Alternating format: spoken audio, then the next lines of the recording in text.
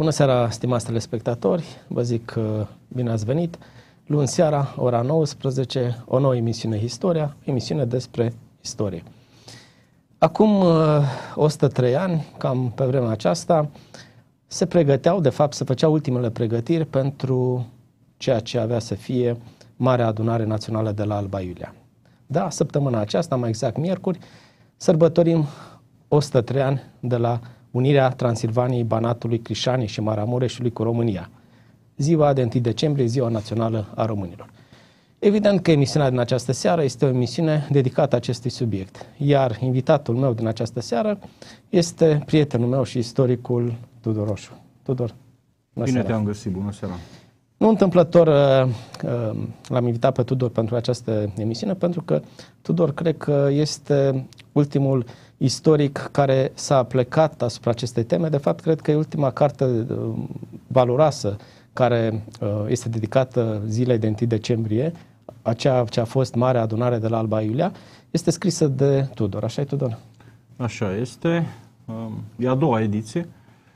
Uh, anul trecut, pe vremea asta, prezentam prima ediție. La a doua ediție am mai adăugat uh, câteva capitole și am mai făcut mici modificări și uh, mici adăugări de conținut. Acum despre carte, trebuie să spun că a apărut la editura Mega din Cluj-Napoca și că se găsește pe net, se găsește și la magazinul muzeului, se găsește pe site-ul editurii Mega, și în alte locuri, cine este interesat să o procure. Da, eu recomand. Cartea este o carte uh, care are, abordează uh, inedit unele aspecte ale adunării de la Albail, al momentului, de la 1 decembrie, premergător și ulterior. Uh, o carte care, în care găsiți uh, lucruri despre care nu prea s-a scris, uh, lucruri inedite și apropo de chestia asta inedită, uh, Cred că și tu ești săturat de uh, întrebările care ți se pun de obicei în preajma zilei de 1 decembrie. Uh, de obicei de mass media care te întreabă...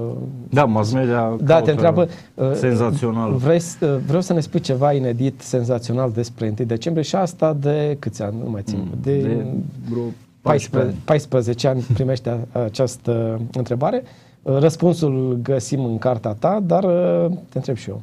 Se mai poate spune ceva, că există ceva inedit legat de acest subiect? Marea adunare de la Alba Ina? Uh, da, e, e greu de spus inedit. S-a scris enorm, au curs tone de cerneală pe istoria Unirii. Uh, ce am încercat eu să fac cu acest volum, să prezint Unirea într-o manieră mai comestibilă. Uh, și în egală măsură să mă limitez strict la ziua de 1 decembrie. Cărțile dedicate Unirii, în general, o iau uneori chiar de la Mihai Viteazu sau de la Revoluția de la 48, de la Memorandum, de primul război mondial.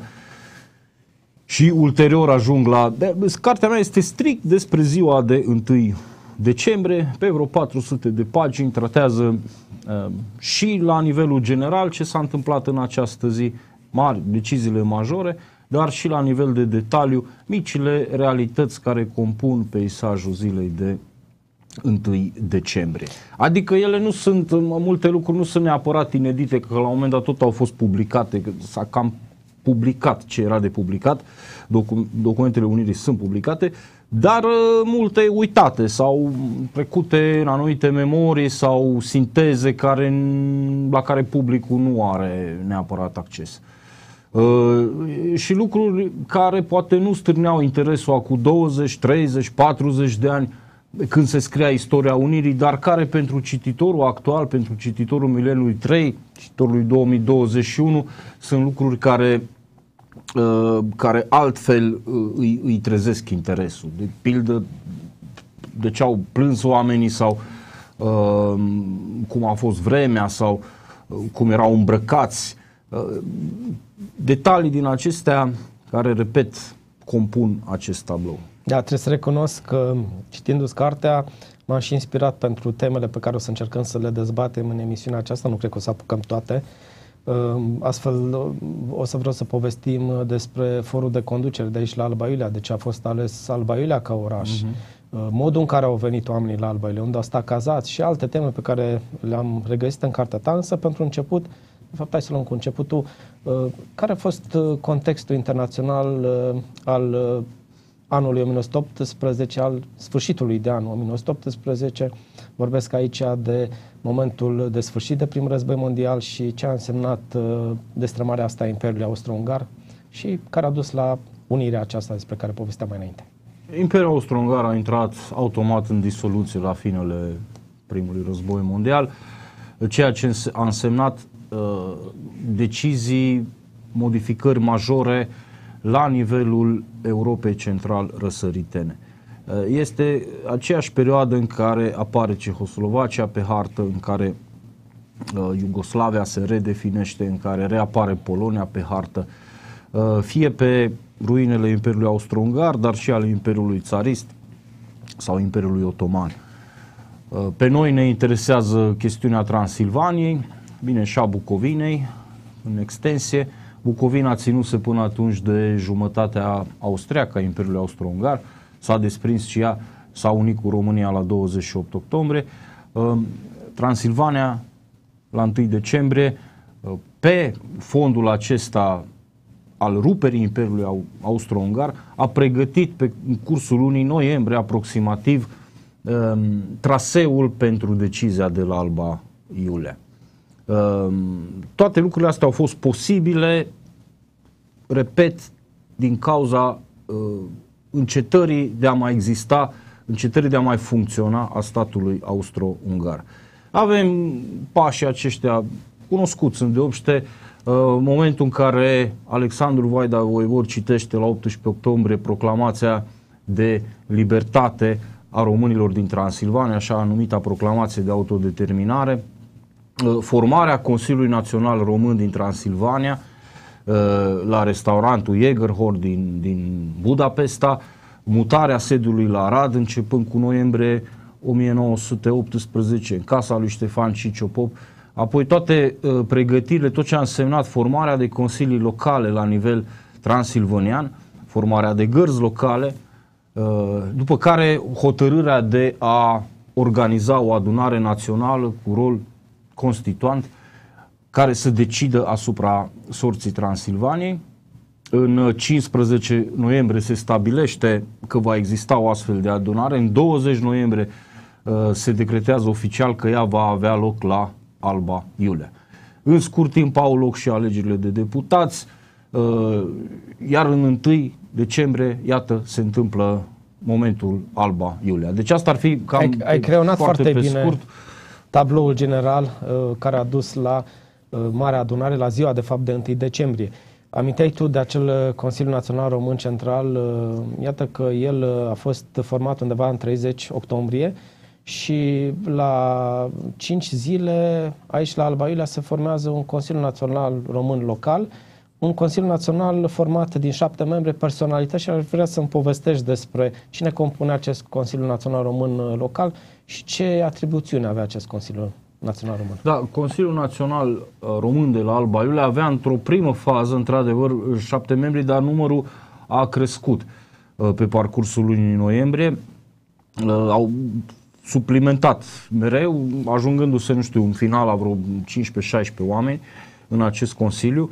Deci era o structură politică, să zicem, Consiliul Local și o structură militară care funcționa pe lângă acest Consiliu și anume Garda Națională de la Alba Iulia sau Legiunea Română de Alba Iulia, care avea de fapt control asupra întregului comitat al Albei. Scuze, mai avem în, și uh, imagini cu acest, uh, cu acest for, da? Da, în, chiar în centru. Aici este componența Consiliului în această imagine, uh, dar mai la începuturile sale, mai la în noiembrie trebuie să fi fost, lipsesc de aici Uh, protopopul greco-catolic Vasile Urzică, cel care era vicepreședintele acestui for. Se află în schimb în plin centru episcopul ortodox uh, Ioan Teculescu, cel care a prezidat Consiliul, uh, cel puțin de drept, să zicem așa. De facto, conducătorul poate în teren sau conducătorul cel mai neobosit a fost Ioan Pop, cel care se afla în dreapta, uh, un avocat albaiulean un apropiat al lui Iuliu Maniu, în vârstă de 38 de ani la acel moment și care va avea un rol hotărător uh, în organizarea adunării de la Alba Iulia. Mai sunt acolo uh, Camil Velican, da, scuză mai aici, din stânga jos. Da. Uh, în ședința aceasta, parcă am văzut și în ziarul, uh, nu mai știu ce ziar prezenta ședința, a fost uh, numit Camil Velican uh, primar al orașului Alba Iulia. Era momentul în care devenea uh, orașul Alba Iulia primea ca în funcția de primar pentru prima dată un român. Și de da. aici și da, hai să revenim. La fel cum și Ioan Pop va fi primul prefect al județului Alba, uh, la fel cum, cum Velican e primul primar. Uh, îi mai avem, uh, avem mai multe, mai mulți avocați locali, este Ioan Marceac, acolo sus, Zaharia Muntean în dreapta sus, tot avocat Rubin Patiția Junior, al, al doilea de la stânga la dreapta, Ehm, farmacistul Alexandru Vlad în uh, stânga sus, medicul Alexandru Fodor în dreapta jos. Um, Erau personalități, de... personalități locale, dar știi ce vreau să te întreb, Tudor? Uh, stăteam și mă gândeam, din uh, cei văzuți mai înainte în imagini, câți uh, au continuat, au prins de fapt uh, anul 1948 și instaurarea regimului comunist, câți sunt din ei? Uh, Păi sunt vreo câțiva, dar n-au, uh, n-au sfârșit bine. Ioan Pop a sfârșit în închisorile comuniste, a avut soarta lui, lui uh, Iuliu Maniu. Uh, e mort și el, dacă bine mi-aduc aminte, tot în 1953 și tot la uh, Sighet. Zaharia Muntean? Zaharia Muntean a făcut, uh, el era un erou al, uh, după primul război mondial, fusese condamnat la moarte, dar pedeapsa nu s-a executat Uh, considerându-se că ar fi uneltit împotriva statului, ar fi oferit informații uh, armatei române. Și pedeapsa nu s-a executat, evident, după aceea s-a eliminat. Aici o altă imagine, tot cu câțiva din acest Consiliu, este momentul în care armata română intră în Alba Iulea, în fața porții a treia cetății luat acest cadru. Îi avem pe Ioan Teculescu, pe Zaharia Muntean, pe Camil Velican și pe Alexandru Fodor. Cadrul e mai larg, dar i-am, uh, i-am selectat doar pe aceștia patru. Era 22 decembrie 1918, armata română intrase în Alba Iulia trei zile mai devreme, dar în orașul de jos și acum a intra uh, simbolic și în cetatea Alba Iulia. Deci a... sunt oameni care au lucrat, revenind la Consiliul Local, au, au lucrat zi și noapte, ei au avut mai multe Uh, birouri ale acestui Consiliu. Uh, Consiliul a devenit extrem de important după 20 noiembrie. Deci în momentul în care s-a decis că Alba Iulia va fi locul adunării naționale, atunci automat ponderea și importanța acestui Consiliu a crescut în raport cu alte localități. A devenit evident cel mai important Consiliu Local din uh, Transilvania. A existat o comisie care s-a ocupat strict de organizare, una care s-a ocupat de cazare, uh, de cazarea participanților care, care veneau de, de cazare? Așa, au să ajungem și acolo. Bun, da. deci uh, au funcționat la Hotel Hungare a avut acolo un birou Ioan Pop și unde în ultimele zile a lucrat non-stop acolo. Bun, uh, dar cum de a fost ales ca oraș al Marei Adunări Alba Iulia, un mic oraș din Transilvania, Asta este una din întrebările care se pun frecvent în ultima vreme. Da, um, și ne face plăcere de fiecare dată să răspundem la această întrebare. Este moștenirea simbolică la mijloc, moștenirea unirii. Alba Iulia era deja percepută ca un oraș al unirii prin moștenirea lui Mihai Viteazu. Uh, moștenirea istorică de fapt continua și cu Horea Cloșca și Crișan, era un, un oraș al sacrificiului um, al jertfei. Astea erau cuvinte de ordine la 1 decembrie 1918. Se vorbea de un calvar de 1000 de ani prin care a trecut poporul român din Transilvania și cele mai frecvente exemple erau, evident, um, ale răscoalei lui Horea, Cloșca și Crișan. Deci, pe lângă moștenirea istorică, mai avem și organizarea impecabilă de la Alba Iulea, uh, inclusiv Garda Națională, a funcționat perfect, a beneficiat de foarte, de foarte multă tehnică, de efecte militare, de puși, de mitraliere, etc., existând aici cazarma, arme pe care le-au și distribuit mai departe în alte comitate. Capitanul Florean Medrea este probabil figura principală în, în această ecuație și chiar la nivelul Consiliului Național de, Central de la Arad s-a discutat acest lucru. Existau și voci care, de exemplu, Teodor Mihali, unul dintre liderii Partidului Național, ar fi sugerat să se amâne această adunare pentru că era greu de organizat și uh, erau suficiente pericole, dar uh, un, unul dintre argumente a fost exact garda lui Florian Medrea, care poate organiza și păzi această adunare națională. Pe lângă asta, sigur, sunt de luat în calcul și alte aspecte. Alba Iulia era un oraș românesc, cu majoritate românească, în sensul ăsta spun. Ce pentru populație că avea Alba Iulia? Avea vreo 10.000 de locuitori, în jur de 10.000. Clujul cât avea? Clujul avea cam 80.000, deci era un oraș mare la vremea respectivă. Era cel mai mare din Transilvania. Dar cu o proporție covârșitoare de maghiari. De maghiari. Și la fel situația era în favoarea maghiarilor în mai multe orașe, nu mai spun în cele de vest, în Arad, Oradea, uh, dar și în, evident în Târgu Mureș. La fel. Uh, și sa și în celelalte orașe. Exact. Și atunci a contat foarte mult faptul că Alba Iulia era o cetate românească. Uh, și în același timp și argumente de transport, poate, era bine legată la calea ferată, era cumva în centrul Transilvaniei. Avea o proaspătă uh, gară, o cale ferată de nici nu cât, cred că avea aproape uh, 40 de ani sau ceva de genul ăsta. Păi, mai mult nu prea putea avea. Da. Uh, da, dar era, cum spuneam, uh, bine legată, se ajungea de la Rad și de dincolo, dinspre Sibiu, dinspre Brașov, dinspre nord, deși nu era poziționată și nu este poziționată chiar în centrul Transilvaniei, totuși centru-sud, um, acces din toate părțile Transilvaniei cam, cam la fel. Da, dar să vedem și atmosfera, pentru că poate unii aveau impresia că atmosfera era o atmosferă pacifistă, de liniște, mm. n-a fost violență, a fost uh, ceva, o excursie, s-a făcut o excursie la Albaila, cum se face și astăzi.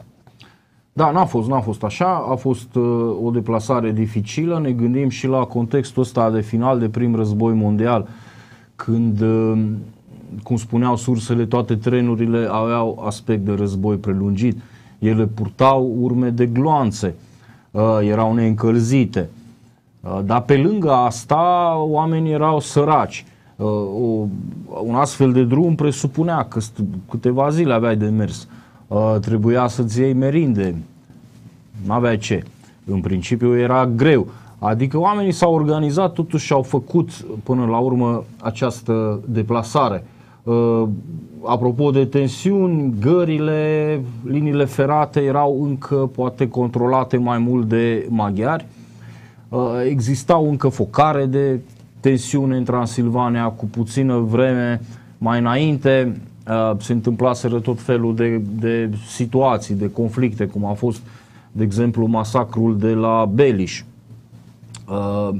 Uh, și multe, multe altele. Adică, deși statul maghiar și-a dat concursul pentru organizarea adunării de la Alba Iulea, suplimentând uh, garnituri de tren pentru această zi, vreo 20 de garnituri au fost suplimentate, cu toate astea, situația nu era deloc una liniștită. Mai intră în ecuație și armata lui Mackensen, armata germană, care se afla în retragere spre vest și care tranzita teritoriul, bine, cumva în degringoladă, dar în oarecare măsură și organizat se retrăgeau, fie cu trenuri, cu convoaie, căruțe și ar fi trebuit să treacă prin Alba Iulia chiar atunci de 1 decembrie.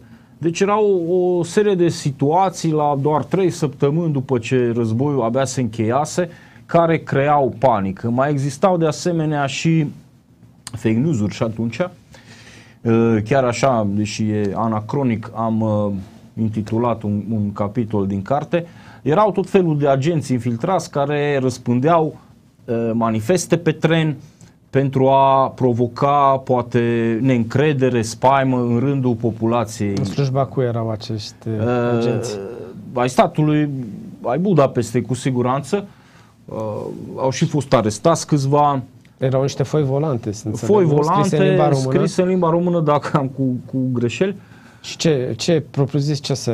Mesajul era, mesajul era mai degrabă pe zona asta bolșevică, pe zona socialiștilor, adică uh, mesajul era că nu e deloc uh, binevenită această unire, uh, lăsăm pe grofii din Ardeal ca să ne unim cu uh, boierii de la București, monarhia este rea, Uh, și că ne putem organiza în principiu noi aici, să avem autonomia noastră în uh, Transilvania.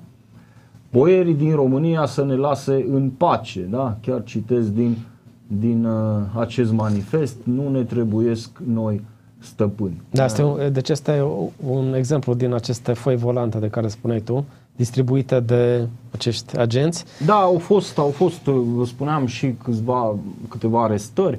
Uh, inclusiv pe tren.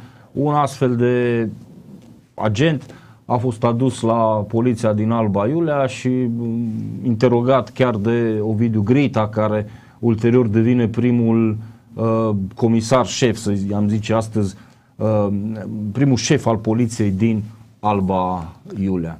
Bun, Tudor, sunt multe subiecte legate de 1 decembrie. Uite, îți mai propun uh, un subiect despre care să povestim. Cum s-a deplasat uh, lumea la Alba Iulia? Pentru că știm că au venit uh, din depărtările Transilvaniei, din Bana, din Crișana, au venit și știu și din Basarabia, au fost, uh, mă gândesc la Pantelimon Halipa, unul din cei prezenți aici, Basarabean. Da, și din, a fost și o delegație a Bucovinei cu, cu Alexe Procopovici, au fost și o delegație a Bucureștiului, a Regatului, cu generalul Leonte, dar aceștia au fost puțini numeric. Uh, majoritatea covârșitoare au constituit-o ardelenii. Uh, ei au venit, cu spuneam, cu trenurile. Trenul a fost principalul mijloc de transport. Numai că pentru a ajunge la tren, foarte mulți au trebuit să facă și drum cu căruța sau pe jos, 20, 30, 50 de kilometri până la cea mai apropiată uh, gară de unde au luat trenul. Au venit unii de la distanțe mari pe jos sau cu căruțe, din zona Radului de pildă.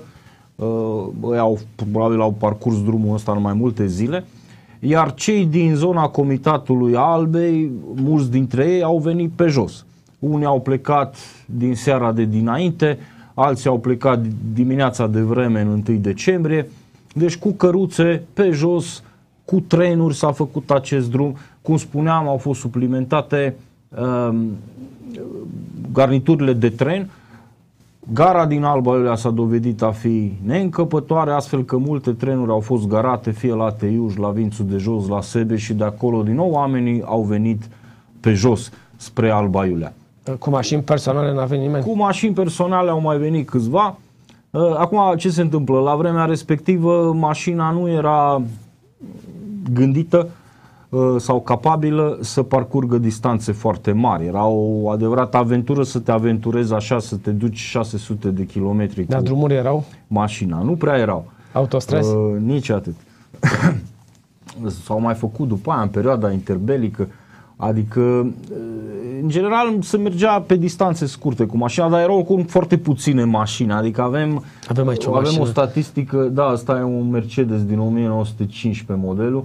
Uh, Cam așa trebuie să fie restaurată arată. și foarte frumoasă. Da, așa trebuie să fie arătat și la momentul respectiv.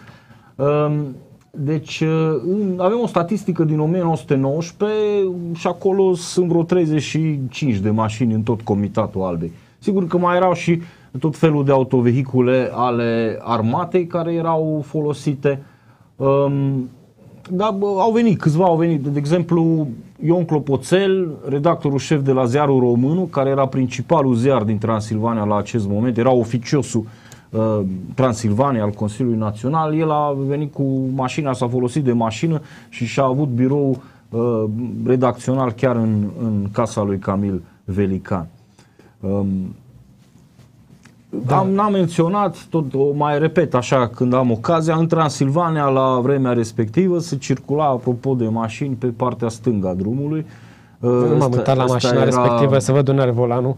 Ăsta era modelul, uh, formatul și în Ungaria. Ungaria va mai rămâne cu circulația pe partea stângă până la al doilea război mondial, abia după aceea va... Scuze-mă, volanul e pe va mijloc, trece. nu? Văd eu bine. Bă, Pe mijloc, e mai simplu. Da, deci putea... E mai logic. pe Era mijloc. mai logic stânga, dreapta. Nu. contează. Bun, iată că deja în seara zilei de 30 noiembrie s-au strâns la Alba Iulia un număr însemnat de persoane, atât de oficiale, dar și mulți sărani veniți, unde au încăput atâtea persoane într-un orășel de 10.000 de locuri în care nu știu dacă existau 3-4 hoteluri sau uh, Nici măcar atât. spații de cazare. Erau două hoteluri mari și late, Hotel Hungaria și Hotel Europa. Hotel Europa aici în imagine este pe locul uh, actualei Romarta, iar hotelul Dacia, viitor Dacia, era hotel Hungaria la acel moment, se află uh, în zona blocului 280 de astăzi, chiar unde e banca italo-romenă. Bine, Tudor, dar câte persoane puteau să fie găzduite Băi, în nu aceste prea mulți hoteluri? în tot cazul, dar uh, uh, aici a stat elita. Aici au avut loc și ședințele din preziua Unirii, aici a avut birou și Ioan Suciu, organizatorul adunării și Ioan Pop, uh, organizatorul local. Aici venea și Florian Medrea să primească ordine și să le ducă la îndeplinire, să le execute. Deci aici era, era inima orașului la acel moment, în, ca, în cafeneaua de la parter uh, s-a stat toată noaptea acolo, era un fum de-l tăiai cu cuțitul, uh, dar în egală măsură s-a și cântat, a fost un entuziasm de nedescris și în, uh, în preajma hotelului. Deci în această piață uh, nimeni n-a dormit în noaptea de dinainte din 30 noiembrie spre 1 decembrie. Este, Pe adă- lângă, zic, este adevărat că pentru prima dată delegațiile venite la Alba Iulia au luat cunoștință de rezoluția Unirii uh, în seara de 30 noiembrie, chiar în incinta acestui hotel, Europa vorbesc. um, nu, adică... Ungaria, scuză-mă, hotel Ungaria. Hotel Ungaria, da. Rezoluția Unirii era cam clar odată. Evident că nu era niciun mare mister ce se va decide. Se va decide unirea cu România, ăla era uh, punctul principal. Dar mai încolo erau tot felul de detalii care nu erau stabilite. Uh, exista și Existau și anumite te- temeri că socialiștii vor fi mai reținuți, că vor impune anumite condiții, uh, că s-ar putea la un moment dat să apară sintagma de unire condiționată în această rezoluție. Uh, Textul definitiv a fost stabilit în data de 30 noiembrie, într-o ședință care s-a întins pe durata întregii zile până seara, în data de 30 noiembrie, o ședință la care au participat acolo vreo, nici nu știm exact, 20-30 de persoane și care au uh, dezbătut intens conținutul acestui act al unirii. Um, Acum, revenind la întrebarea anterioară puțin, că m-a întrebat de locurile de cazare, deci pe lângă aceste două hoteluri mai avem unitățile militare uh, și acestea au deservit populația care avea nevoie de cazare, avem școlile de, din localitate, dar avem mai ales populația orașului. Uh, Din ce știm, fiecare gospodărie a primit între 3 și 6 participanți la unire. I-au găzduit unde au putut. Uh, Dar tot n-a fost destul și astfel că și localitățile înconjurătoare au găzduit oameni. Iar o parte, poate mai mică dintre participanți, nici măcar nu s-au cazat undeva, n-au dormit deloc. Da, vorbindu-mi de cei unde s-au cazat, mi-aduc aminte iarăși de una din uh, întrebările foarte bune care ni se, spu- ni se pun nouă înainte de 1 decembrie, preajma zilei de 1 decembrie, este aceea, uh, dacă s-a dat fasole cu cârnați în uh, ziua de 1 decembrie, s-a dat o masă liberă, Nu, nu s-a dat, nu s-a dat fasole cu cârnați. Au fost așa un fel de vouchere, dar pentru pâine, uh, nici de cum fasole cu cârnați. Restaurantele și alea puține au fost arhipline, adică n-avea de unde să... Au oferit însă merinde și oamenii, din nou albaiulenii au fost la înălțime și au uh, oferit și mâncare. Da, deci cei care se uită trebuie să știe că atunci, la 1 decembrie, nu i-a așteptat nimeni la Alba Iulia cu masa pusă, cu bucate, nu li s-a dat nimic pe gratis. E adevărat, lucrul ăsta se va întâmpla ceva mai târziu, în 1922, la coronarea de la Alba Iulia, atunci s-a dat uh, o masă pentru popor. Da, acum ne imaginăm totuși o lume, o lume săracă. E, era foarte greu, o lume răvășită după război. Uh, De unde să ei, adică prețurile iară se, era inflație, prețurile săriseră, uh, anumite produse erau extrem, extrem de scumpe. Se foloseau încă la acel moment coroanele uh, austro-ungare ce se devalorizaseră cel mai mult în raport cu celelalte monede din Europa. Și anumite produse uh, crescuseră foarte mult ca preț. De exemplu, mierea era extrem de scumpă la acel moment. Altele erau foarte ieftine. Uh, un, avem tot felul de... Un autocamion îl cumpărai de la armata germană pe nimica. Un aparat de fotografiat, iarăși, adică ce rechiziționai sau ce cumpărai de la armata care se afla în trecere, era ieftin, că ei aveau nevoie de merinde sau de ceva uh, ca să-și poată face deplasarea mai departe. Deci cam așa, cam așa erau lucrurile, dar oricum nu erau alimente, nu erau alimente la momentul, la momentul respectiv. Era o problemă. Bun, iată ne ajuns în ziua de 1 decembrie, care a fost într-o zi de duminică, o zi specială care, cum s-a desfășurat? Uh, a existat un program publicat mai devreme, iar uh, ora 7 însemna serviciu religios. Așa spunea și în presa vremii, lucrul, lucrul trebuie să-l încep cu Dumnezeu. Au fost două slujbe la bisericile protopopiale din oraș, la uh, cea greco-catolică, prima pe strada Iașilor, cum vii dinspre gară.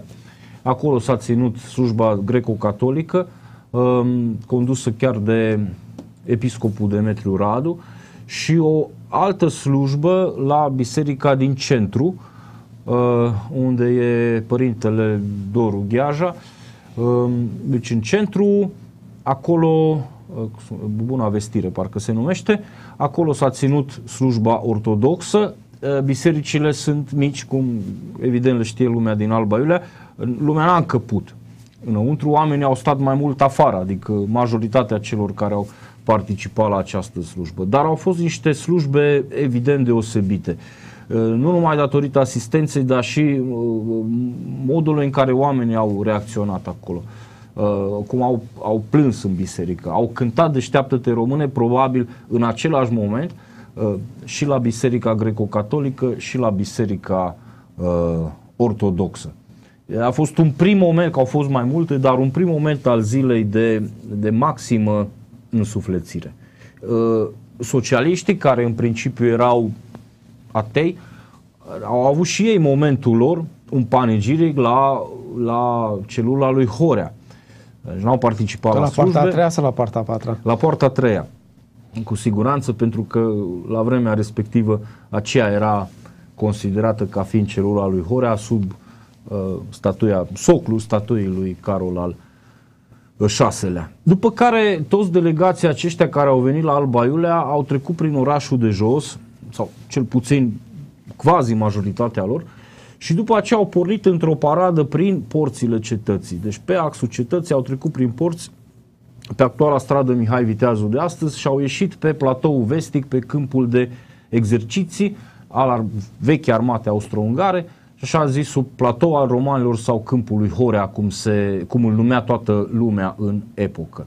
În uh, dreptul sălii Unirii, delegații oficiali care urmau să înceapă ședința adunării naționale acolo au primit această paradă. Din nou a fost un moment de, de maximă însuflețire pentru că era prima dată când se întâmpla lucrul acesta în, în Transilvania. 100, 120, 130 de mii de români, după unele surse, uh, au, vă dați seama, au uh, umplut toată imaginea aceasta a cetății. Dar mă gândesc și ca timp, uh, trecerea unui număr așa mare de persoane... A, a durat mult, a durat mult până când au ieșit mult. pe, pe... Ei erau destul, oricum, bine organizați, adică pe coloane, pe șiruri, Uh, trebuie să fi trecut totuși destul de repede, dar într-adevăr, fiind atât de mulți, a luat ceva timp. Uh, probabil a luat vreo două, trei ore până când s-au așezat toți acolo pe câmpul lui Horea, unde iarăși se știa care unde va sta. Uh, Uh, gărzile naționale au fost neobosite, ei au distribuit lumea, au organizat toată, toată dispunerea aceasta.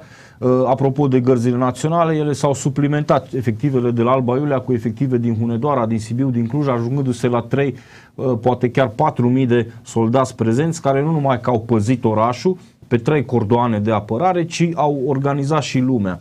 Au fost pe... incidente? Uh, nu, din ceea ce știm, n-a fost niciun incident. Așa a scris și presa străină, pentru că evenimentul s-a reflectat și în presa străină, în, în Franța, în Anglia, chiar în Statele Unite ale Americii, uh, inclusiv New York Times la vremea aceea scria că evenimentul s-a petrecut fără niciun incident. Uh, ăsta a fost și scopul și, și organizarea asta desăvârșită, asta a urmărit, să nu uh, existe nicio umbră, nicio pată asupra acestei adunări. Din cauza asta, tot așa ca un amănunt poate picant, nu s-au comercializat băuturi alcoolice, a fost interzisă uh, a fost interzis consumul de băuturi alcoolice pe parcursul zilei. A fost interzis ca oamenii să părăsească grupul din care făceau parte. Veneai cu delegația din satul tău, din uh, Maramureș, care era formată din 15 oameni, trebuia să stai acolo. Nu aveai ce să pleci mai. Era și o, și o metodă prin care uh, Uh, se puteau depista foarte ușor uh, agenții posibili, Agitatori. agenții infiltrați care ar fi putut să incite. Uh, pentru că e ușor, dacă e unul, imediat îl afli, dacă grupurile sunt organizate. Ăsta e de-a tău, nu, de-a tău, nu, de-a tău, nu. Înseamnă că e în plus aici. Bun. Hai să vedem în sala Unirii ce se întâmpla în, acele, ce se întâmpla în acel timp. Da, în sala Unirii au avut loc uh, cuvântările din ședința adunării naționale. Acum, pe scurt, ca să nu lugim prea mult, uh, Consiliul Național Român, care condusese până atunci Transilvania, și-a depus mandatul. Asta a făcut-o prin vocea lui Ștefan Ciciopop. După care s-a ales uh, adunarea națională, s-a constituit și s-a ales o conducere a ei. A fost ales președinte Gheorghe Pop de Băsești, dar alături de alți uh, copreședinți, și anume Demetriu Pap, al uh, Oradiei și uh, episcopul ortodox Ioan Ipap al Aradului. Deci au fost trei președinți. Au mai venit doi vicepreședinți, Teodor Mihali și Ion Flueraș din partea socialiștilor și uh, nouă, uh, opt sau, în fine, secretarea acestei adunări. Deci acesta a fost forul de conducere. Au urmat uh, mai multe discursuri. Discursul cel mai important a fost cel al lui Vasile Goldiș. El a prezentat a explicat unirea istoric, el era și istoric de profesie, a făcut un expozeu istoric întins pe 2000 de ani și arătând că lucrurile uh, converg spre acest eveniment, după care a dat citire rezoluției Unirii, actului Unirii, 9 puncte. Uh, au mai fost și alte cuvinte, asta este exact cea mai, cel mai important document poate al istoriei noastre, e vorba de cuvântarea lui Vasile Goldiș din uh, sala Unirii. Mapa era care ora, se află în uh, colecțiile muzeului. Este la Muzeul Național Unirii. Era ora 12.30. Astea sunt credenționale, mandatele sau împuternicirile delegațiilor oficiali uh, care le dădeau, le permiteau să fie prezenți în, în sala Unirii. Câți au fost? 1228 este numărul arhi cunoscut. Noi am numărat, sunt 1225, lista oficială publicată în gazeta oficială ulterior. Așa arăta cazina militară. Era o clădire tânără. 1918. Uh, era, era modificată mai ales uh, sau altfel mai ales în zona centrală pentru că portalul pe care lumea îl știe a fost adăugat uh, mai târziu în 1922. Avea și balcon probabil acolo unde se vede, se vede geamul în partea centrală pentru că acolo au stat femeile. N-au încăput evident toți oamenii aceștia 1225 cât vor fi fost, avem surse care spun că foarte mulți au împânzit străzile din jurul sălii Unirii. N-aveau cum să încapă. Uh, au mai vorbit Maniu, Vaida Voevod, Iosif Jumanca, uh, dar și Demetriu Radu și Ioan Ipap, oamenii bisericilor. S-a votat unirea, s-a hotărât, uh, s-a votat prin aclamații, prin ovații. Nu s-a ridicat, sau cel puțin din ceea ce știm, nu s-a ridicat mâna în semn de vot. Uh, uh, votul acesta a fost exprimat prin ovații care au durat zeci de minute. Uh, deci rezoluția a fost votată ca tot, în, în, cu toate hotărârile pe care le cuprindea, prin aceste ovații. Bun, și la finalul ședinței? La finalul ședinței, mai mulți delegați, mai mulți fruntași s-au deplasat pe câmpul lui Horea, unde din nou s-au ținut cuvântări. Fuseseră și înainte cuvântări, dar cu mai mult cu oratori, să le zicem, improvizați. uh, din rândul țăranilor, adică mai puțin importanți politic. După ce au venit cei din Sala Unirii, acolo s-au ținut din nou cuvântări cu Aurel Vlad, cu uh, Leonora Lemeni, cu, dar mai ales cu Miron Cristea și cu uh, Iuliu Hosu, care a citit din nou rezoluția Unirii în fața Da, oamenilor. din păcate mărturiile uh, vizuale a ceea ce s-a întâmplat uh, la Alba Iulia sunt foarte puține, nu? Ele se datorează, știe toată lumea, lui Samuel Mârza. Avem și noi aici fotografiile lui și ar fi frumos doar să povestim pe aceste fotografii, să surprindem atmosfera, cu ce erau îmbrăcați, standardele, de unde veneau, cum era Steagurile ziua. erau, uh, în principiu, fiecare delegație a trebuit să aibă un steag. Uh, Trebuie să subliniem că românii ardeleni nu au avut steaguri, nu au avut voie să aibă steaguri până atunci. Și astfel ei și le-au creat și le-au confecționat în ajun, cum au putut. Mai există în țară la momentul acesta vreo 15 păstrate. Uh, Multe dintre ele sunt readaptate, sunt benzi preluate din steagul maghiar sau din steagul imperial sau din steagul uh, secuiesc și așa mai departe și redispuse, recusute, unele benzi colorate. Sunt și steaguri de mătase. Uh, Observ tribunele. Aici tribuna, da, e pare Din a fi lemn. o improvizație. Este de fapt tribuna, tribuna cea mai importantă, tribuna prezidențială. Au fost mai multe tribune, dar asta ca, e aproape sigur că tribuna prezidențială a fost amplasată pe locul actualei uh, case de cultură. Cam câte unde ne tribune au aflăm noi fost? acum. Inițial au fost patru, așa au fost gândite pe program. După aceea sunt surse care spun că au fost mai multe, dar uh, e posibil ca pe unele să fi fost improvizate pe parcursul zilei. Uh, Sunt istorici care merg până la 9 tribune. Probabil era nevoie pentru că nu existau portavoci și vă dați seama, mulțimea era răspândită cam de la actualul, de la actualul Colegiu Horea Cloșca și Crișan până la Hotel Cetate și de la Parcul Unirii până la Cinema Dacia. Deci pe toată zona aceasta. Deci mesajul cum Oamenii circula. alergau de la o tribună la alta, că nu era, nu erau, nu era sonorizare. Uh, și când au venit corifei aici la tribuna oficială, evident că lumea s-a îngrămădit cât s-a putut pe această Aici avem tribună. pe Miron Cristea, nu? Miron Cristea vorbește, vedem că mai mulți oameni s- și-au dat jos căciulile, uh, pentru că altfel toată lumea este acoperită, are ceva pe cap. Uh, Vedem și un gardist acolo în stânga lui cu banderolă tricoloră la braț și ținând de asemenea un steag.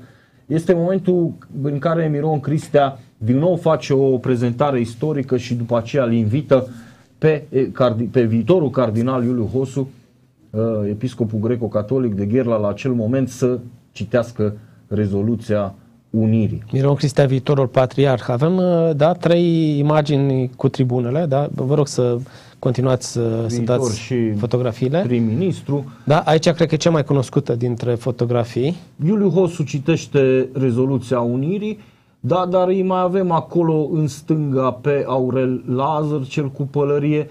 Îl avem pe locotenentul Valeriu Pascu, cel cu uh, catargul acela lung, De la înfășurat Orăștie, nu? în tricolor, de la Orăștie, exact.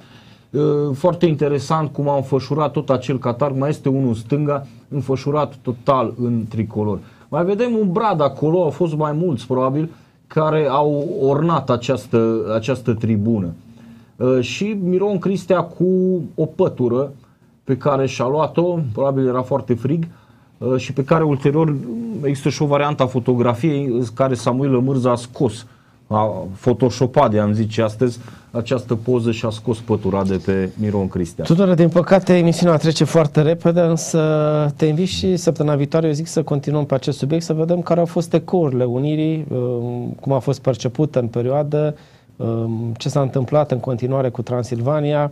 Toate aceste subiecte o să încercăm săptămâna viitoare, însă acum, pe partea finală a emisiunii, să ne spui e, la ce se așteaptă, la ce se așteptă turiștii care vin la Alba Iulia și Alba Iulienii pentru miercuri 1 decembrie, ce evenimente, știu că ești implicat în uh, organizarea acestor evenimente. Da, avem uh, și ziua de 30 Mâine. noiembrie, mâine, destul de plină. Uh, Avem o paradă cu torțe a reenactorilor, a celor care dau viață sau reconstituie istoria anului 1918.